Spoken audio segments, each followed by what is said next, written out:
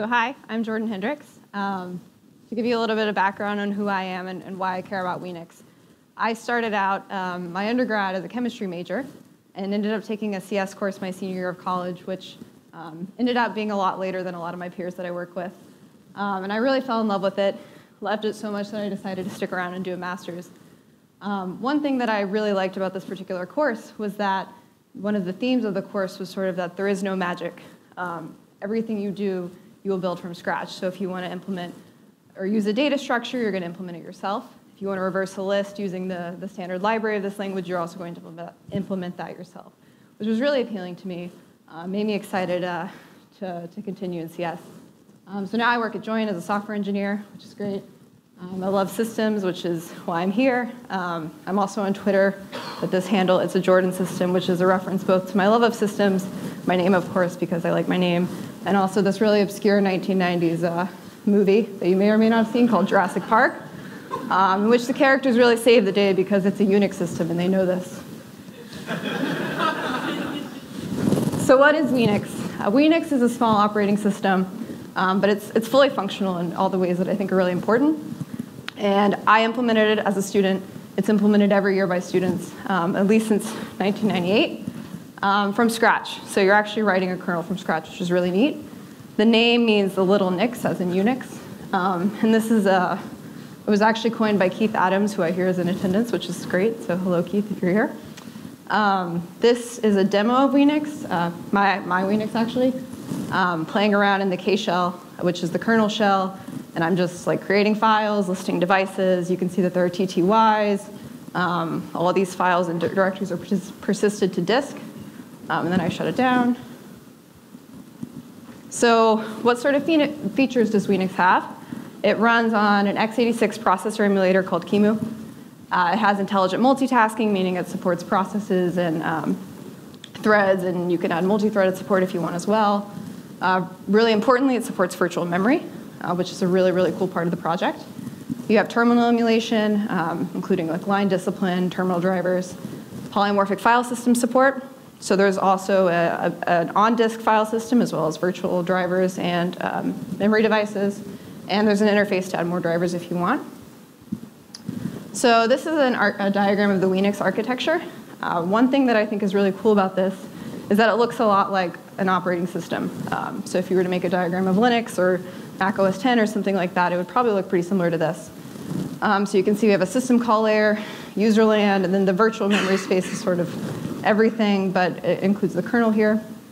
A virtual file system layer. S5FS is the on-disk file system, which is the System 5 file system, as in Unix System 5. Uh, and we like that because it's simple to implement, even though it's not necessarily something you'd want to use in production these days. Um, process management, TLB management, scheduler. And the other cool thing about this diagram is that almost everything on here students actually do implement from scratch. Userland portion is provided to you, but uh, the system calls, VFS, S5FS, all of that, um, you actually do yourself. So now I'm going to talk about the evolution of Weenix. This man is showing us the evolution of dance, which I will not do. so it starts with the operating systems course at Brown. Um, this is Thomas Doeppner. He's been teaching the course since at least the late 70s. And uh, right now, Weenix is a half credit component, so you do get a little more credit for doing this uh, since it is such a big uh, undertaking. So Tom, also known as TWID, which are his initials and his login to the Brown CS department, has a history of a very hands-on approach to learning. This is Tom showing you what you might do if your program has masked off SIGINT, aka Control C, uh, and you can't kill the program as a result. so he is a uh, katana fiend, the ultimate.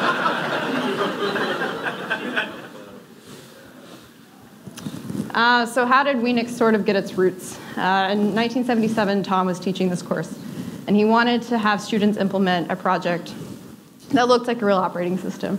So they started out with an IBM 360-like simulator written in PL1. The project itself was written in assembler. Um, that turned out to be kind of difficult, kind of slow, so they moved to a more um, pseudocode design where you're not actually writing any code, but it uh, teaches you about the Intel 8086. Um, and that wasn't sufficient to really get the hands-on approach learning that Tom really likes. So they moved to using a Motorola 68000 emulator that was in C. This was painfully slow, but it did allow them to implement an OS. Uh, it didn't have things like virtual memory or, or fork or exec, um, but you did have a file system. You could read and write from it, do syscalls. Uh, and this ran on three different types of machines. So this is a Apollos 6800 based, 68,000 base machine in the CS department, and all these pictures are, are taken from uh, by Tom. Um, this is a 68,000 base Sun machine, uh, which was the next year. And then this is a Sun uh, SPARC machine. Um, so that was too slow, sort of, to, to deal with for the long term. So in 1991, some students wrote a simulator uh, that was kind of a generic OS architecture in C, and this was much, much faster. Um, you couldn't really boot from it. It would just load the binary and then run it for you. Um, but it was more like a real operating system. It was Unix-like, still no virtual memory.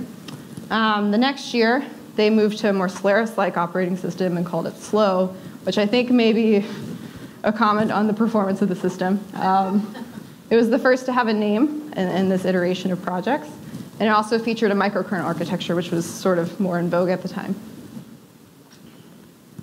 Uh, so then there was another overhaul in 1994 using the same simulator uh, instead of using Unix or microkernel architecture, they switched to Sun's object-oriented OS, um, that sort of design, which was called Spring.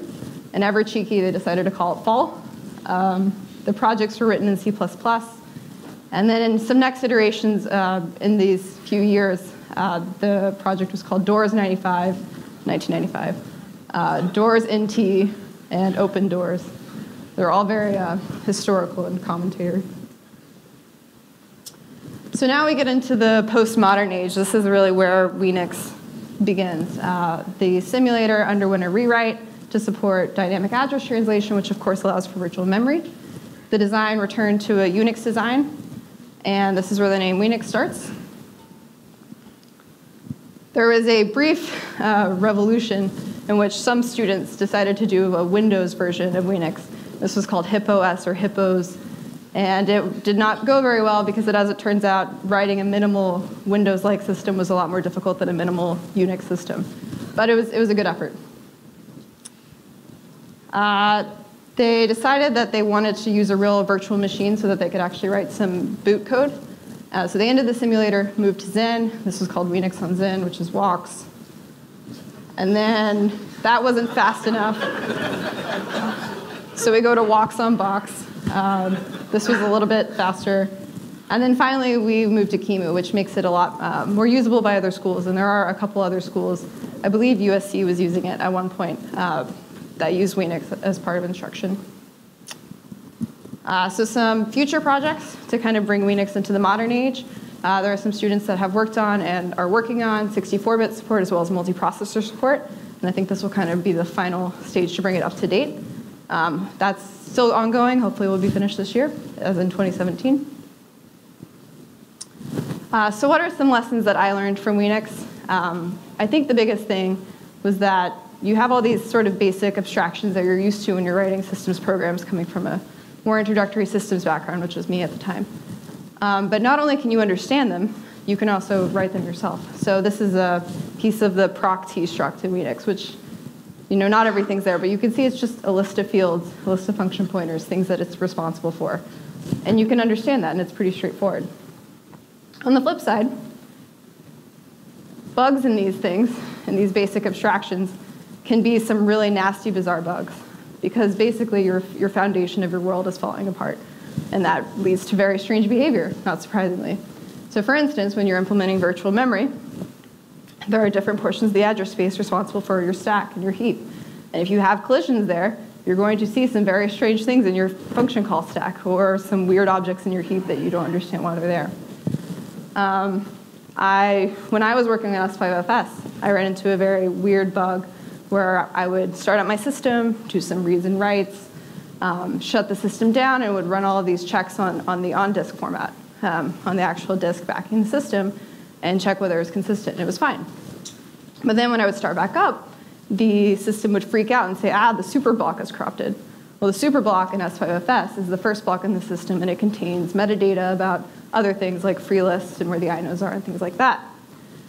So that seemed bad, and I was looking for some really strange, bizarre bug, like maybe there's something weird in the initialization code, or maybe the TAs have a bug in their stencil code, all these different things, and it leads me down to a path where I end up in my uh, code that writes out blocks to disk. And I see there's this giant to do, implement sparse block allocation.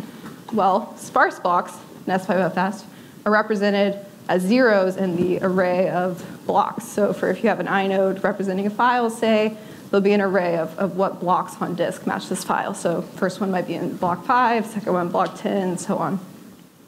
Sparse blocks, which means blocks that aren't allocated that are just all zeros, are represented with zero. So when I would actually write these things out, I would say, okay, block 10, I'm going to write this data here. Block 5, I'm going to write this data here. Block 0, what needed to happen was to allocate a new block, right, so that I could fill in a real block on disk. And instead I'd be like, oh, okay, I'll just write to block 0. That's great. Um, and I would corrupt the superblock. So basically, these tiny to-dos can go from just missing a feature in your system to really bizarre failure modes that don't actually look like they have anything to do with that.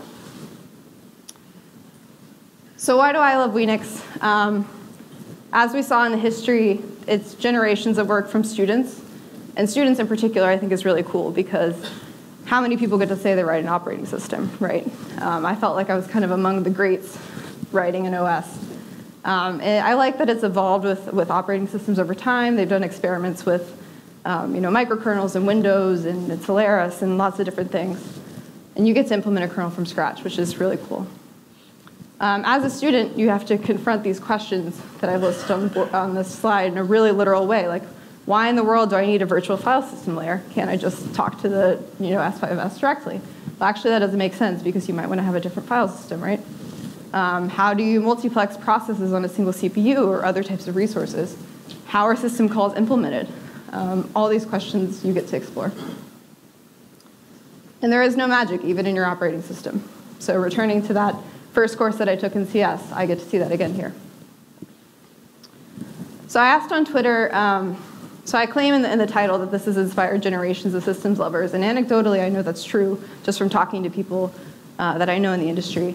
Um, but I asked on Twitter for some people to respond with ways that Weenix inspired them. And this first person said, because of Weenix, I'm no longer afraid of big code bases, and I trust that even the most flummoxing bugs have a cause. Um, and this other person said, no matter how complicated the system is, it's always composition, a composition of simple building blocks. And that everything big, every big thing starts out small, and you can build anything if you want to. Thank you.